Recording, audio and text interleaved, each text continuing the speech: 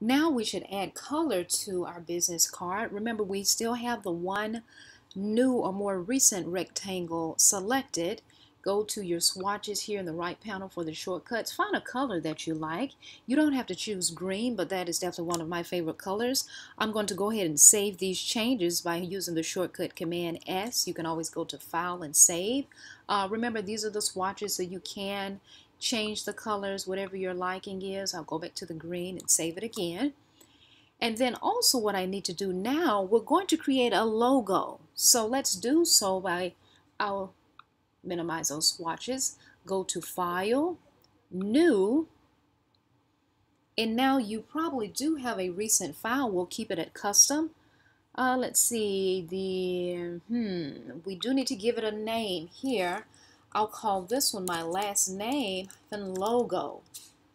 And we're going to keep the measurements the same in terms of the width being 3.5, the height being 2 inches, hmm. and the bleed CMYK, that's perfect. Go ahead and click on Create. Okay, now before moving forward, we can see here among the tabs that we have the business card saved and also the logo. I haven't made any changes, but I'll go ahead and save it anyway. Okay, here, uh, I did that by holding down the Command key and the alphabet S as a shortcut.